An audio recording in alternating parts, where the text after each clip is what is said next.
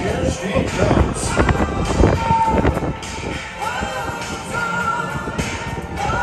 Try to keep him off the barrel. Put him in the pocket. Six up the clock. Here